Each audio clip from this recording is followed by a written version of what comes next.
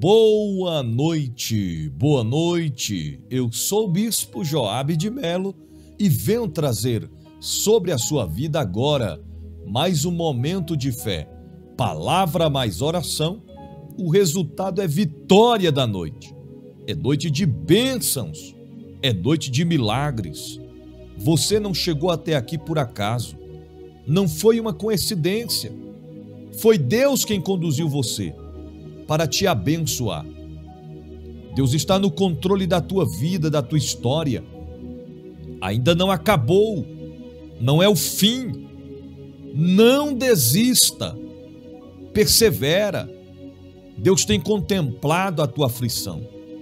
Deus tem visto o teu sofrimento, as tuas lágrimas e te trouxe até este momento de fé para te abençoar. Fique comigo até o final deste momento de fé, pois eu tenho uma palavra da parte de Deus para o teu coração antes de orar por você e por sua família. Mas antes de meditarmos na palavra e orarmos juntos, eu tenho um convite especial para você. Sim, para você, seus amigos, familiares que ainda não são inscritos em nosso canal, a se inscrever agora. É muito importante que você se inscreva. Ative o sininho das notificações clicando em todos, deixe o seu joinha, o seu like e escreva nos comentários abaixo o seu nome, o nome de sua família, o seu pedido de oração. Eu estarei intercedendo por você. Também escreva a palavra profética, palavra mais oração. O resultado é vitória. Assim você estará profetizando que após este momento de palavra mais oração, o resultado da parte de Deus para a sua vida e família, em todas as áreas e sentidos, será de grandes vitórias na presença do Deus da Bíblia. Vamos meditar na palavra desta noite. Salmos 86, versos 1 até o versos de número 7. Inclina, Senhor, os teus ouvidos e ouve-me, porque estou necessitado e aflito. Guarda minha alma, pois sou santo, ó Deus meu, salva o teu servo, quem te confia. Tem misericórdia de mim, ó Senhor, pois a ti clamo todo dia. Alegra a alma do teu servo Pois a ti, Senhor, levanto a minha alma. Pois tu, Senhor, és bom e pronto a perdoar, abundante em benignidade para com todos os que te invocam. Dá ouvido, Senhor, à minha oração e atende a voz das minhas súplicas. No dia da minha angústia, clamarei a ti, porquanto me respondeste. O salmista está clamando a Deus, implorando ardentemente o socorro de Deus, o socorro do Senhor, para vencer, para vencer em tempos de grandes necessidades e aflições. Ele entendeu que era preciso clamar. Quantas das vezes você precisa do Senhor e não clama? Estás vendo tudo que você está passando, enfrentando e às vezes não reage. É preciso clamar a Deus. O salmista decidiu clamar ao Senhor para vencer em tempos de grandes necessidades e aflições. Qual é a tua necessidade? O que você tanto necessita? O que é que tem afligido a tua alma? As aflições da vida que vêm sobre você. É preciso vencer.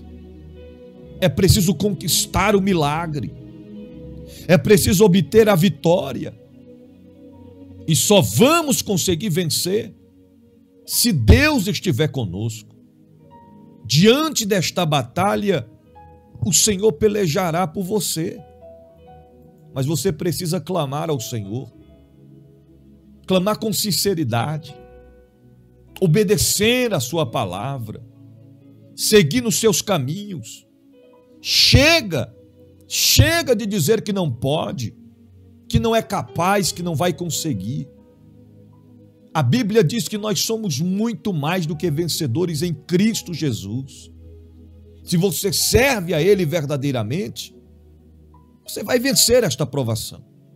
Você vai vencer este problema. Você vai vencer esta enfermidade. Eu profetizo sobre a sua vida. Apresente a tua causa ao Senhor. Busque a Ele enquanto se pode achar. Ele sabe da tua situação. Ele conhece a tua história. Faça como o salmista fez. Clame ao Senhor em tempos de grandes necessidades e aflições, porque Ele vai te, ele vai te atender, Ele vai te responder.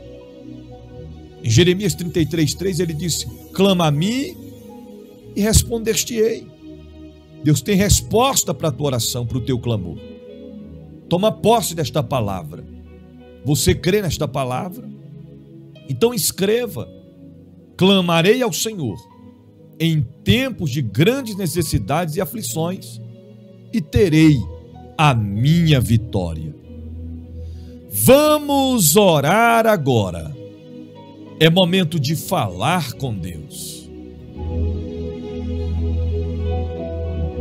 Querido Deus e eterno Pai, diante da tua presença estamos agora.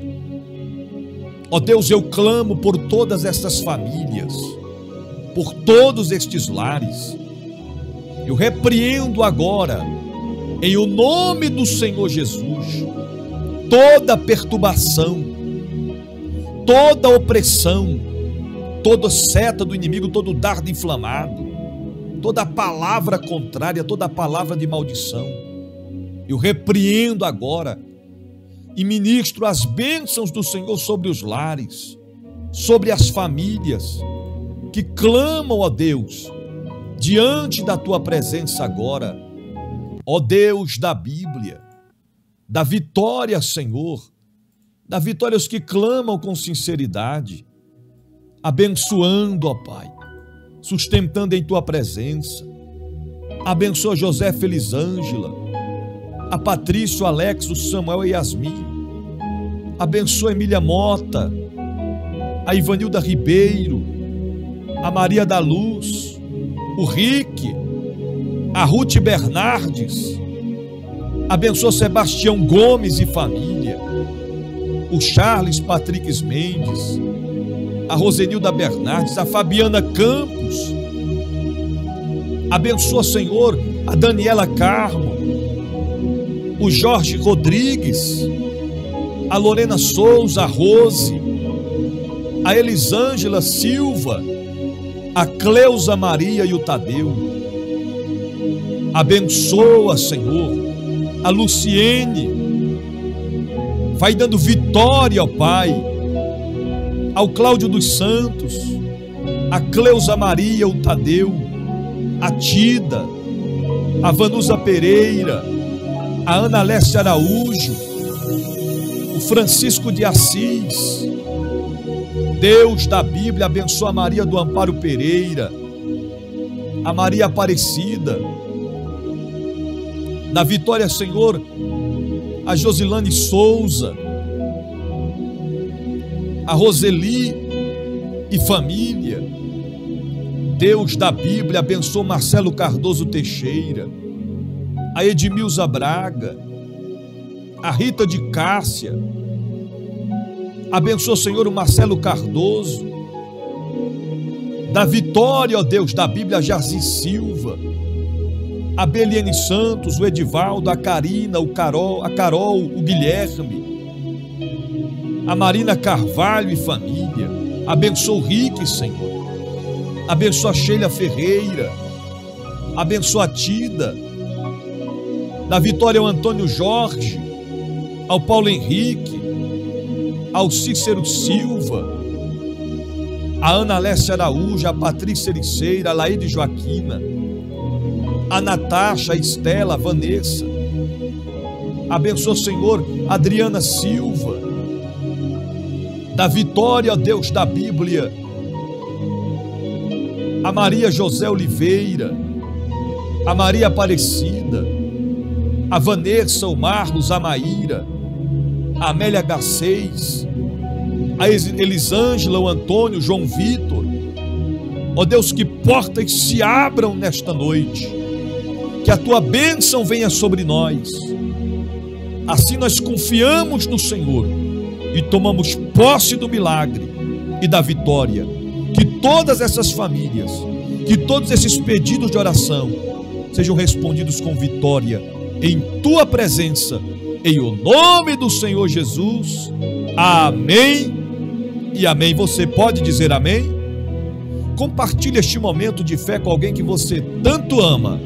E não se esqueçam que palavra mais oração, o resultado é vitória.